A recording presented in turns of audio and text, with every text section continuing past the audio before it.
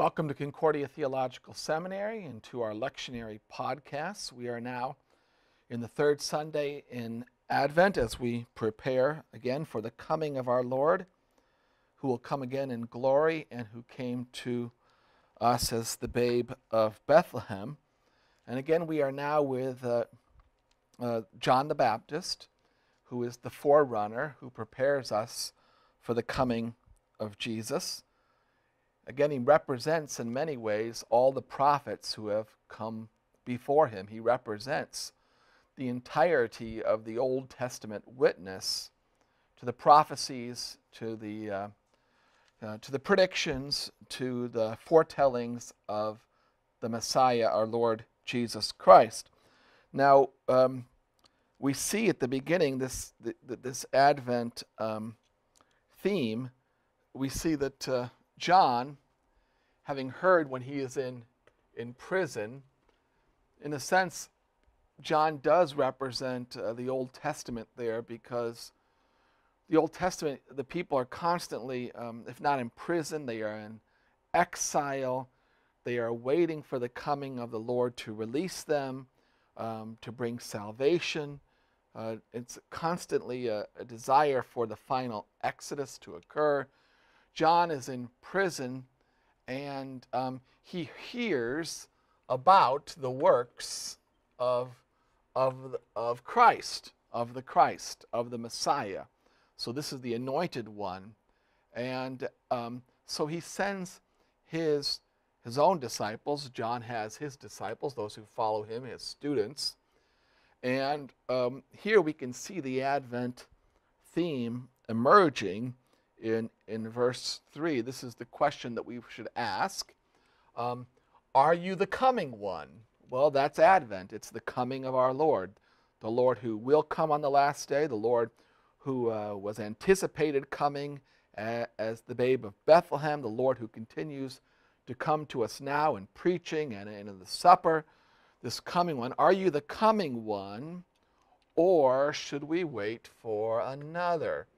So, again, this is kind of an old question people have asked. Um, did John the Baptist not know? He, after all, was the one who said, Behold, the Lamb of God who takes away the sin of the world. And I don't think this is a black or white question. I think this is the kind of question that we all ask, even as we have faith we ask a question in order to be assured, to be reassured of that which we know and believe. Um, this is what we do every Sunday when we go to church. We ask this question even as we confess that Christ is the Lord. We want to hear that answer again. We want to hear there's something about Christmas. It's celebrated every year, and we every year it's new to us, even though it's the same story. And um, it's the comfort that we receive that we ask for that God gives to us in His Word. So, are you the coming one, or should we wait for another? And you know, John needs this because he's in he's in prison, and he wants to hear this good news about the one who sets the captives free. So, Jesus answered and said, "Well, going, go to him, announce to John, go tell this good news to John."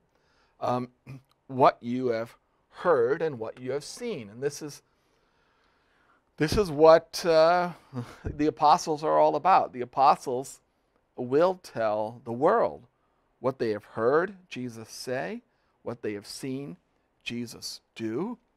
Um, well, this is the message. The blind see again. Ah, yes. And and the lame, the lame are walking. And the lepers, well, they're cleansed.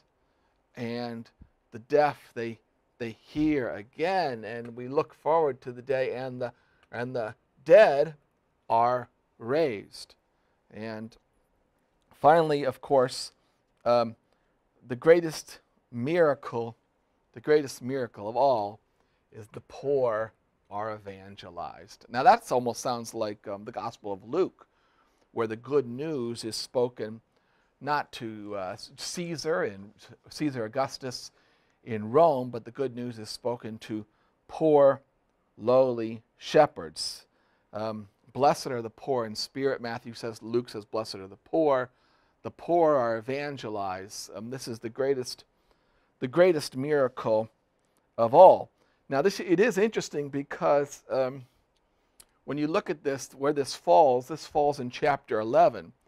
In chapters 8 and 9, uh, it's in those chapters that uh, we see that Matthew puts together the 10 miracles of Jesus, and they're representative of what Jesus did throughout his whole ministry. I like to make this point that um, in the miracles of Jesus, we really, what we see are the miracles of baptism. Because in baptism, our eyes are opened. In baptism, we uh, are raised up so that we live a new life and we're able to walk again, walk in this newness of life. We're cleansed of our sins. Um, our ears are opened uh, so that we can hear God's word. Our eyes also, I suppose, are open so that we can see who Christ is. And all of this happens when the ptochoi, when the poor are evangelized. And the evangelism comes with the baptismal message, with baptism itself, which accomplishes these great miracles. In chapters 8 and 9, it's Jesus who does them.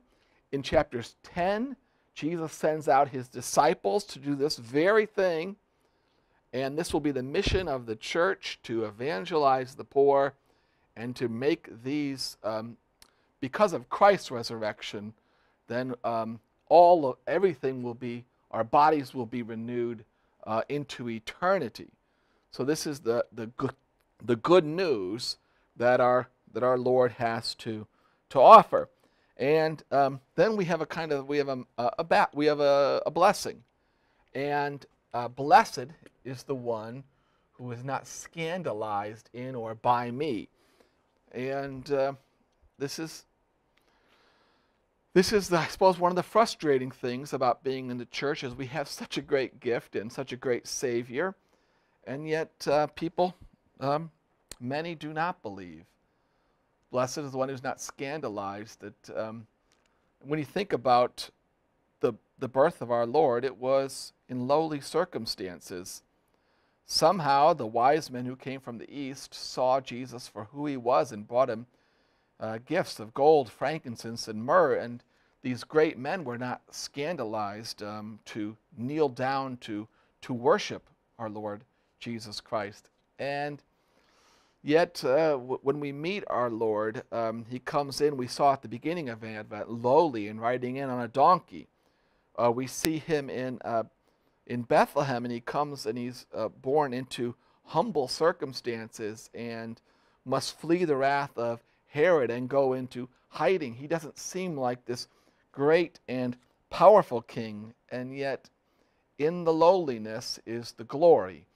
In the lowly birth is our king in the crucifixion, we find our Savior. So blessed, blessed is the one who is not scandalized by me, even if you happen to be in, in jail wondering where is the power of God. The power of God is there and will be revealed fully when our Lord comes again in glory on that last day with all of his angels with him.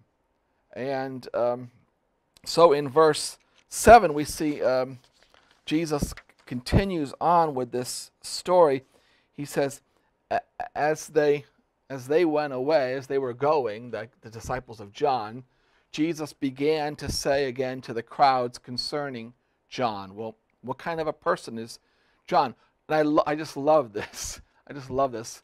What did you go? Why? What did you go out in the desert to see? Um, then this all of Jerusalem was going out into the desert to see John the Baptist. Oh, what did you think you were going to see out there? Was he a, a reed shaken by the wind? Um, you know, was he the kind of person who put his who uh, wet his fingers and seeing which way the the wind blows? No, he's he's not like that. He was a man with a, a firm message. Um, well, then, what did you go out to see? And you know, this is a good thing to think about when you think about what you want in your own pastor. Because do you want a personality?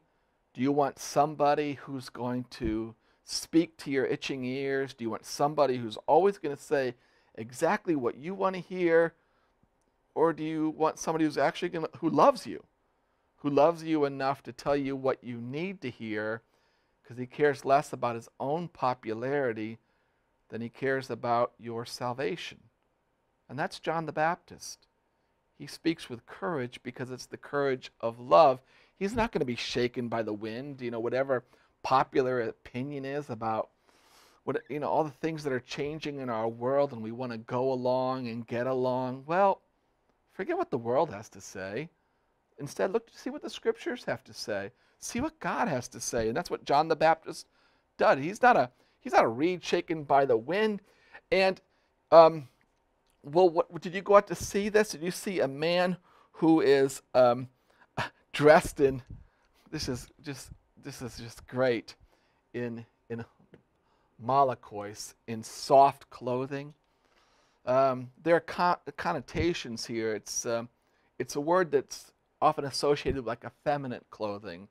Um, it's the kind of clothing um, that the rich would wear, um, but the one who maybe doesn't have any dirt under his fingernails, the one who doesn't want to get his hands dirty, the one who comes to you always looking polished, his hair is perfect.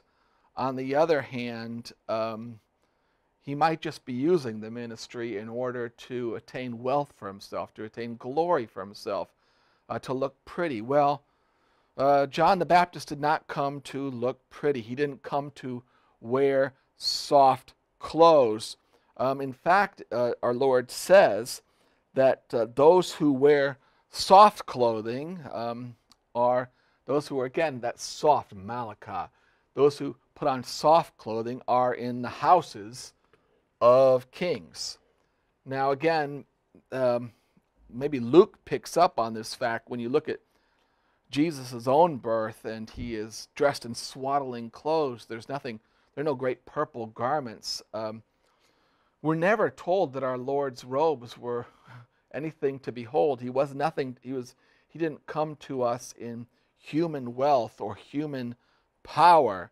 Um, and John the Baptist, he is a rough person out in the desert, and he's not living in the house of kings. He is a he is a true prophet.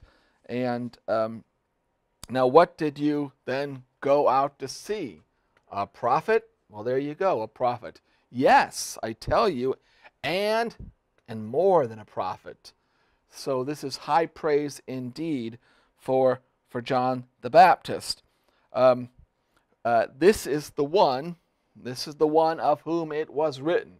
So again, Matthew loves to uh, show that the story of Christ and the coming of Christ is in fulfillment of the Old Testament. This is the one, John the Baptist, of whom it is written, Behold, idou, I apostello, the, apost- the apostle word, I send before you an angelon, an angel or a messenger, my messenger, before your face. Now, again, we see the Advent theme here. Um, is Jesus the coming one? Are you the coming one? And here, uh, John the Baptist, he comes before your face he will prepare your way before you. Um, we saw this at the beginning of Advent when uh, the road for Jesus, the way to Jesus, was paved, or if not paved, they put down branches uh, so that Jesus could come in riding in on that uh, on, on, the donkey, and uh, so prepare the royal highway for Jesus, and um, John the Baptist, that is what he is going to do. He's going to prepare the way.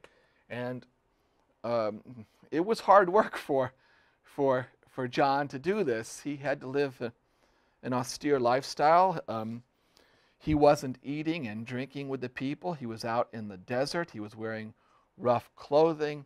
And his message was a stark one, one of repentance. And I do think it's worth uh, reminding ourselves, especially as the institution of marriage is under attack in, in our nation and has been redefined and undefined. It's good to remember that John the Baptist lost his head for uh, had his head chopped off because he called King Herod to account. Um, well, about this, John, Amen, I say to you, truly I say to you, that there is not one who has been born or been, ra- been raised who is born of women who is greater than John the Baptist. He is the greatest of all of all the prophets. He is the final prophet. He is the one who sees Jesus and points to him. And um, but then he, there's this mysterious statement afterwards. The one who is smaller, or it's a comparative. Sometimes comparatives can be used as superlatives. The one who is smaller, or the one who is smallest in the kingdom of the heavens, a good Matthean phrase, is greater than he is.